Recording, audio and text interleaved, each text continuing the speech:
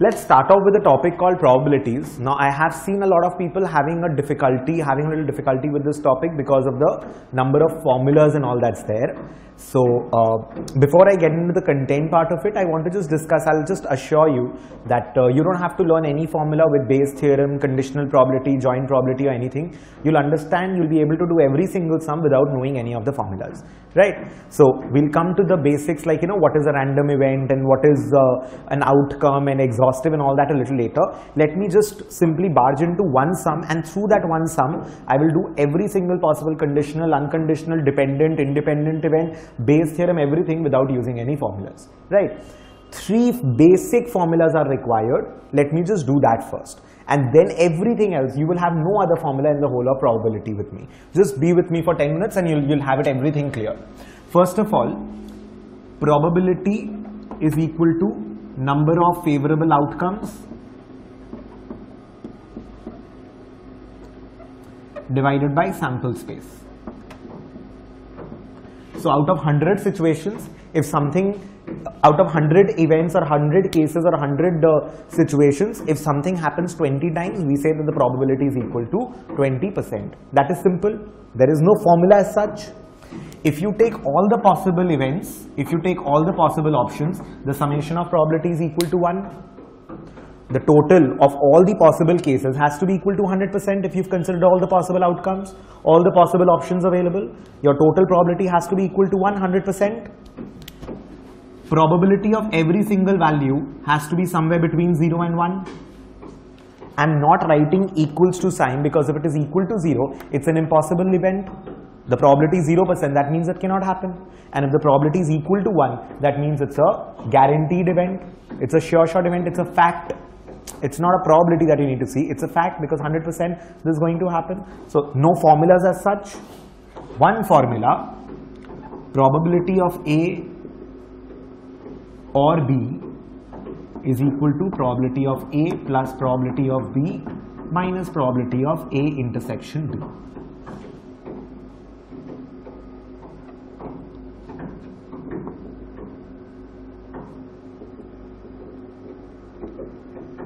That's probability of A intersection B. That's the only formula. I'll not give you any other formula. So probability of A union B, that either A will happen or B will happen, is probability of A plus probability of B, but then you've double counted the area wherein A and B are both happening together. So suppose in 20 situation A happens, in 30 situation B happens, so you're saying in 50 situations A or B is happening. But in the 20 and the 30 situation, 5 situations were common. So you did a double counting. So 20 plus 30. So in 15 situation only A happens. In 25 situation only B happens and in 5 situations both are happening. So 20 plus 30 minus 5 that is 45. So 45 cases may, in 45 cases A or B either one is happening. A union B is either A or B is happening. That is A happening plus B happening minus A intersection B that is A and B both happening. Correct? And for independent events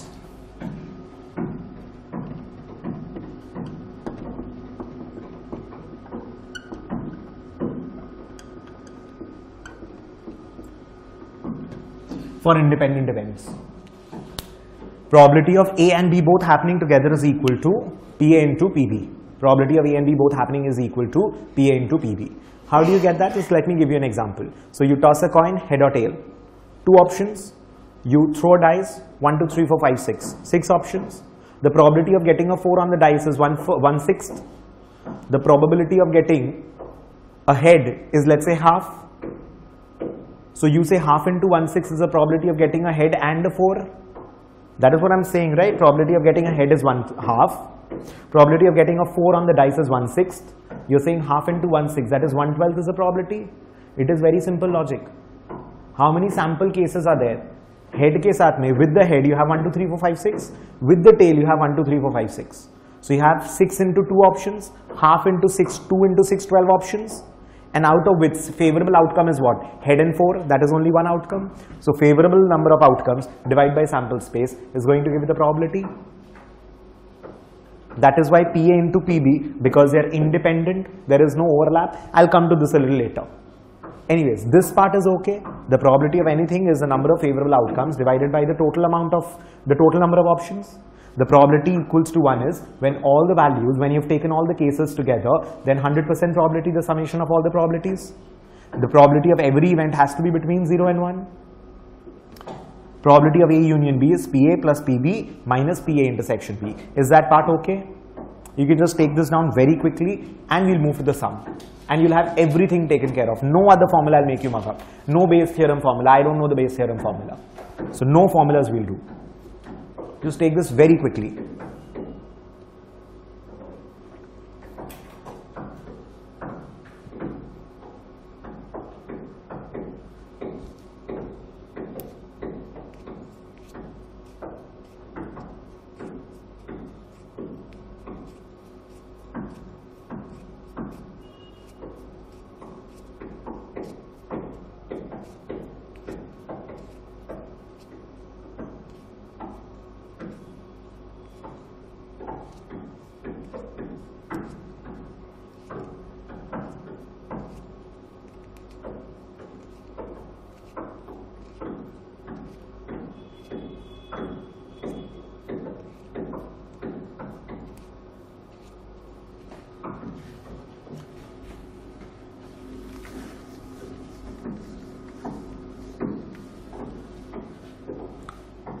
Quickly, please.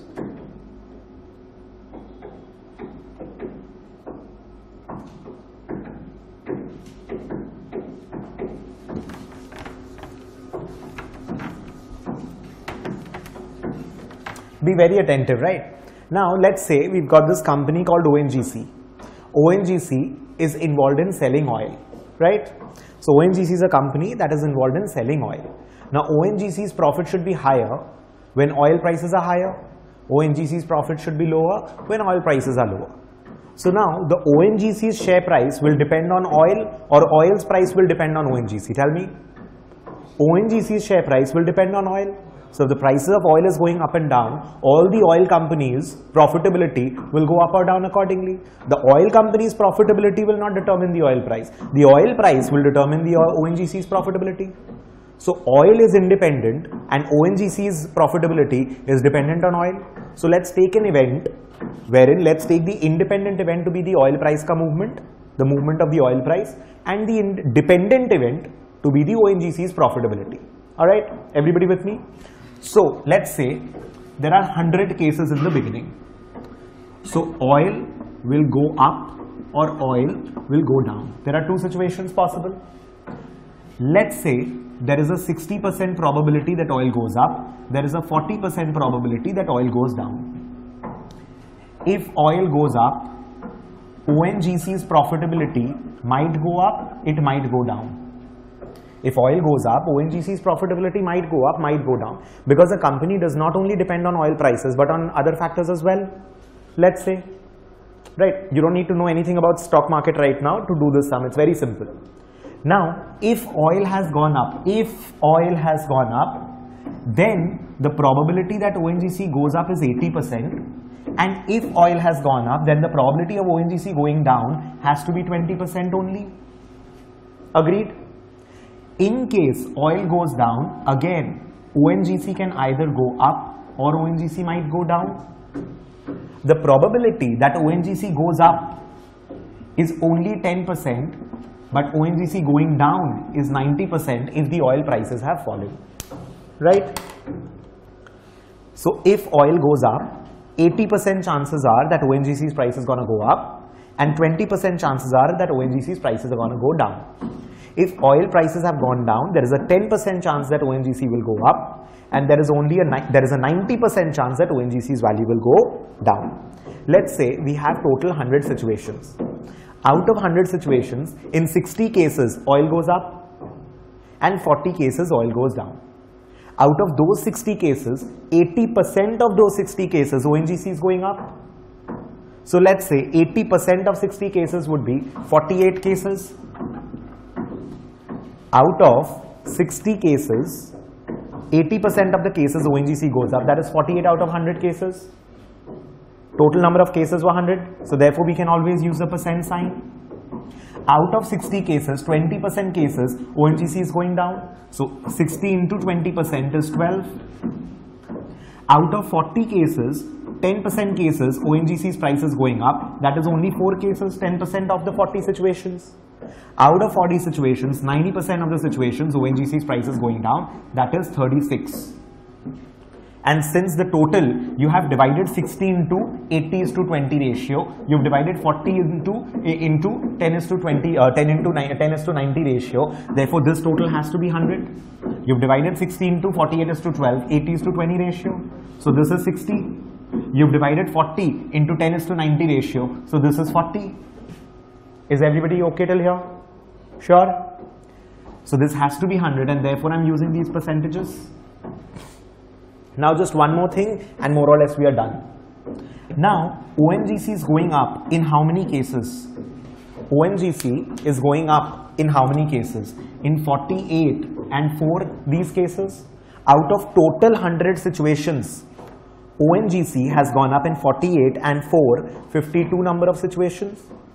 Out of total 100 situations, ONGC has gone up in 48 and 4% cases. You cannot say 80 and 10 because 80% of the cases ONGC is going up if oil has gone up. 10% of the cases ONGC goes up if oil has gone down. Out of total 100 situations sample space, ONGC has gone up in 52 cases. Out of total 100 cases, ONGC has gone down in 48 cases. Everybody with me till here? Now, 60% and 40% probability of oil going up is equal to 60%, probability of oil going down is equal to 40%. These two are the unconditional probability of independent events. Oil going up and down is not dependent on ONGC's profitability, but ONGC's profitability is dependent on oil and it is unconditional probability of the independent event oil, whether oil goes up or oil goes down. When you are looking at these probabilities, they are the conditional probabilities of dependent events. Think probability that ONGC will go up given that oil has gone up. So oil has gone up is a fact oil has gone up. Now tell me what is the probability of ONGC going up. Now understand the formula also. Out of 60 situations in which oil has gone up, your sample space is 60 now. Oil has gone up, that is a fact. It is a sample space. Out of these 60 cases, in how many cases is ONGC going up? 48 cases. 48 divided by 60 is 80%. 48 divided by 60 is 80%. So probability of ONGC going up given that oil has gone up. Oil has gone up is your given. It's your fact it's your sample space. That is equal to 80% probability that ONGC goes down given that oil has gone up is equal to 20% probability that ONGC goes up given that oil has gone down. Please pardon me I'm not writing so much. You will be copying everything properly later. Just concentrate is 10% and the probability that ONGC has gone down given that oil has gone down is equal to 90% all these probabilities are conditional probabilities of dependent events. Why conditional? Because they are conditional on the fact whether oil has gone up or has gone down. If oil has gone up, then the probability of ONGC going up is 80.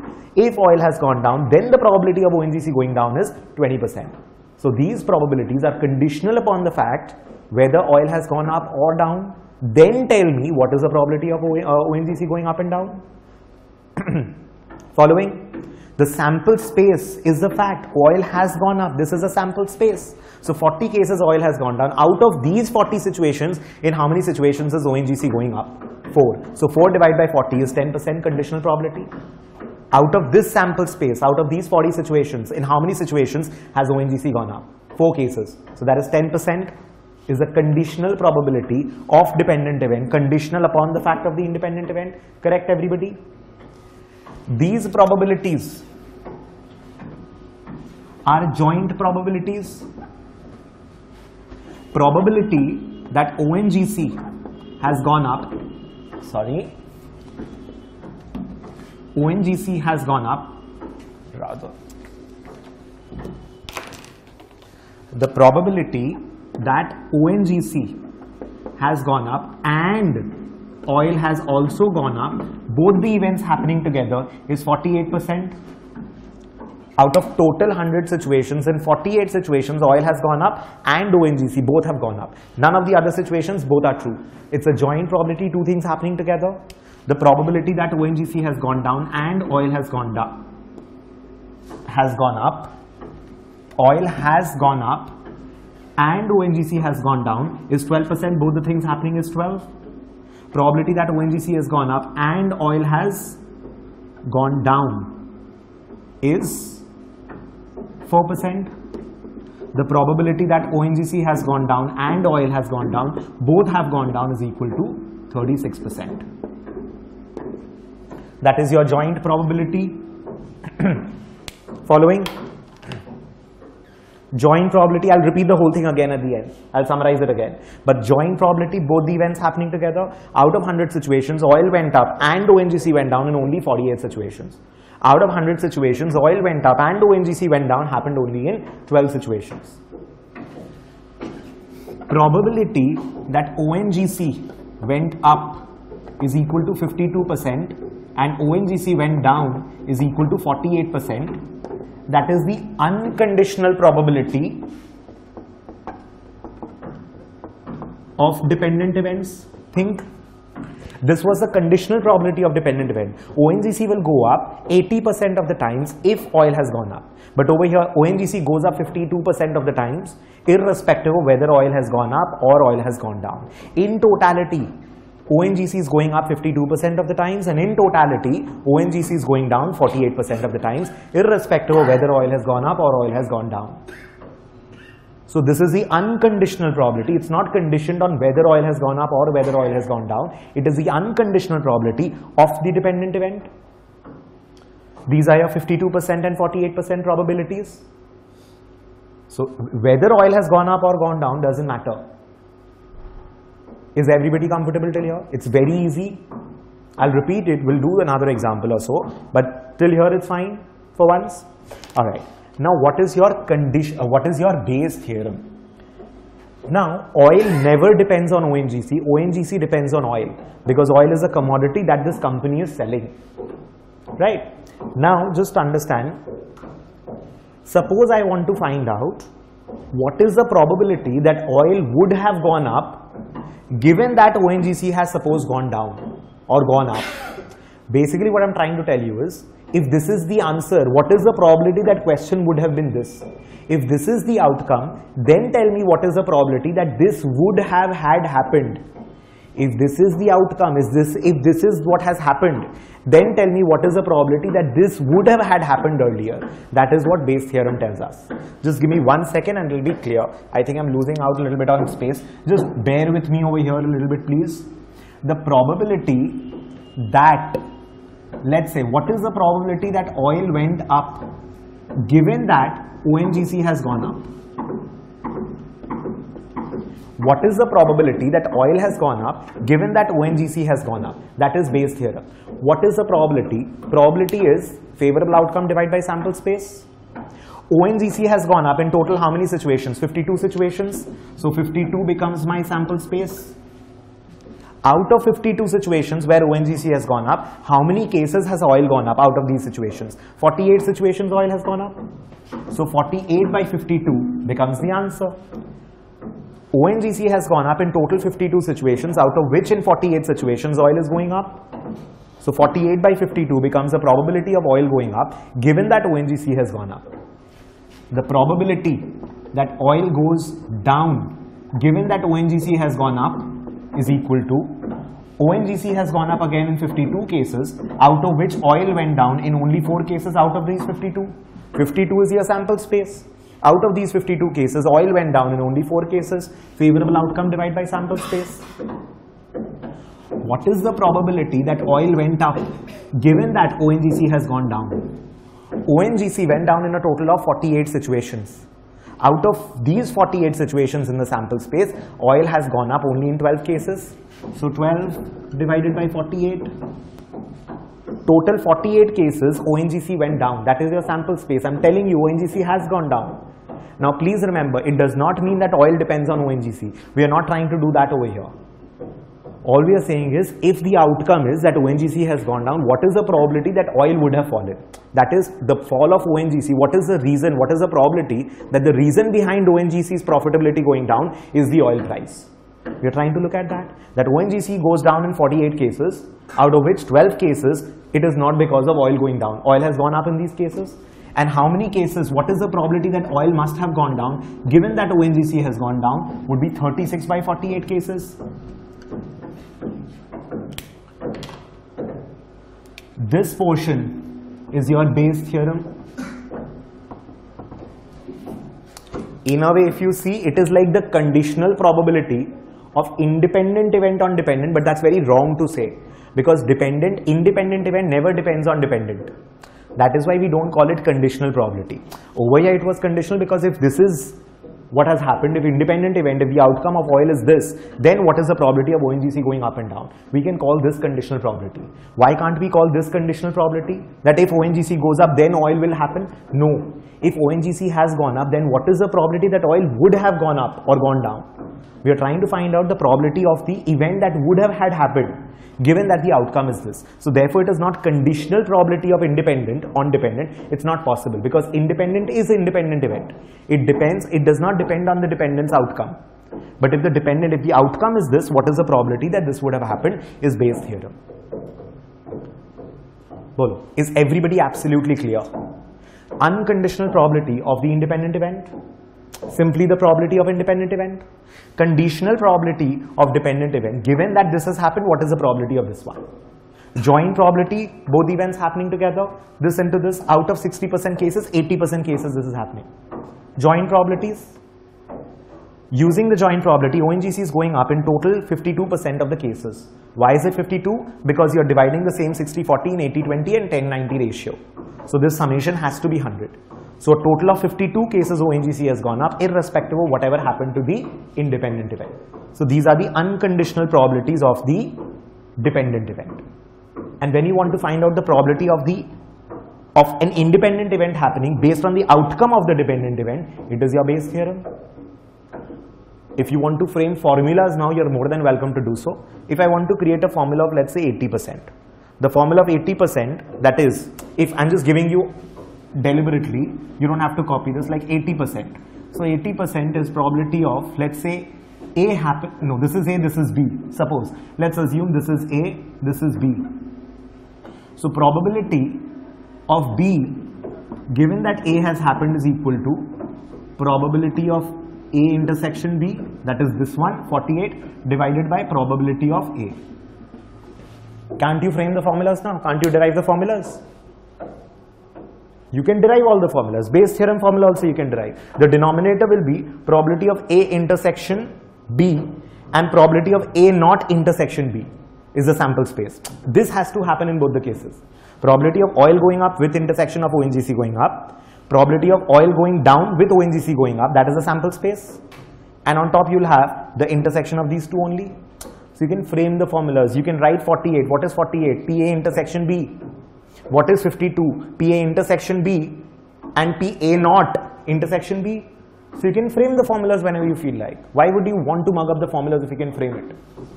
The moment you have done this table, this, this kind of a decision tree, you're done with the question. Whether they're asking joint, conditional, unconditional, and the terms are very, very logical. Conditional, unconditional, dependent, independent. If you understand the meanings, you'll never get confused. And now do you see, I don't need to learn any single formula, be it conditional, joint, unconditional, Bayes theorem. I don't need a single formula for myself. This takes care of the whole of probability. Other concepts also will be doing exactly in the same way, be it statistics, be it annuities, be it, uh, you know, even those uniform, non-uniform, discrete and all, you will have no issue. I will not make you mug up even a single thing. So be it statistics, be it any part of this, you need to get to this level of understanding. Is everybody comfortable? So you take this one question down in a really very, nice manner. You take every single value, write it nicely. I have been a little lazy over here, but you write it very, very properly, everything. So that one question takes care of everything. And please make sure you are bracketing this part also and you're putting it in the graph, in the flowchart also, because it'll be very easy for you to revise later on. See if this, this part is 100% okay with you. Comfortable? Take this down. We're done with this section right for now. For now. I'll give you a few minutes to copy.